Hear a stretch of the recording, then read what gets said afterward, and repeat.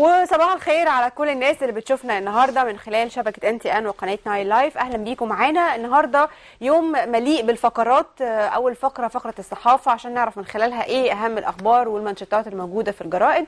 أكيد هيكون معانا طبعا فقرات تانية كتير بس صباح الخير يا أشرف صباح الخير يا رانيا. صباح الفل يا سارة عاملة إيه؟ بصبح على أشرف طبعا كمان. بصبح على كل مشاهدينا بصبح على كل المصريين في كل مكان. يا رب دايما النهارده أحلى من امبارح ويا رب دايما بكرة أحلى من النهارده ويا رب دايما آه، ما نقلقش ودايما نحب بلدنا ودايما نديها كل اللي عندنا لأنها بجد محتاجانا. صباح الخير رانيا صباح الخير سارة صباح الخير مشاهدي نايل لايف ونهاركم دايما سعيد مليان بالأمل والتفاؤل. النهارده 25 10 2011 وامبارح تم الاتفاق برضو على 25 س- مسجون مصري في السجون الإسرائيلية. وفي تبادل في آه، آه، ما بين. مصر وإسرائيل بال 25 آه، مسجون مصري في السجون الإسرائيلية ب. أيلان أو إيلان اللي هو طبعا الجاسوس الإسرائيلي اللي اتمسك في ثورة 25 يناير اتفاقية على فكرة فيها حاجات تانية لبعض الناس اللي كانت بتفكر أنا من ضمنهم كنت امبارح في فقره الصحافة بقول إنه مش 25 ولا 28 المفروض يبقى 1000 زي إنما في حاجات تانية الجهات شاء الأمنية بتقول إنه في اتفاق آخر بعدة مواضيع إنما لن تعلن آه، إذا كانت أمنية أو عسكرية أو كده نثق كل الثقة بالمخابرات المصرية ونثق كل الثقة بالقائمين على الأمن المصري في تعاملهم مع الإسرائيليين. حقيقي حقيقي. أشرف والنهاردة كمان يا سارة هيبقى عندنا فقرات آه، أعتقد آه، كتيره جدا. جدا. آه أنا عايزة أقول بس إن في فقرة الصحافة هيكون معانا الضيفة بتاعتنا الصحفية أمينة خيري. آه، ده غير كمان هيكون معانا دكتور جورج ماهر هو منسق لحمله ال 120 قافلة طبية لمرضى السكر.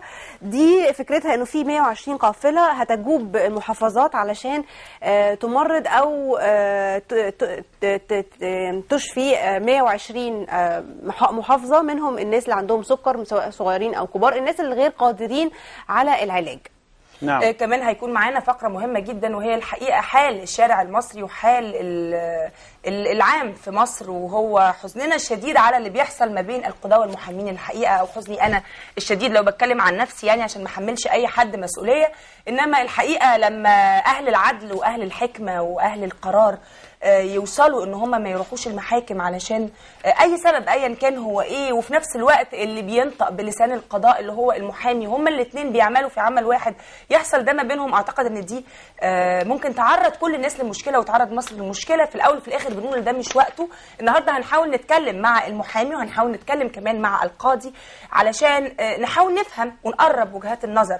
وارد إن إحنا يكون في حاجة مش فاهمينها. وارد ان فعلا يكون في مشكلة حقيقية مش زي ما الناس بتقول إن دي مشاكل مفتعلة. فحقيقي لازم نهتم بالموضوع وأعتقد إنه إن شاء الله جاري حله والحسم فيه لأنه لا نستغنى عن القضاء وطبعا ما نقدرش نعيش بدون محاماة.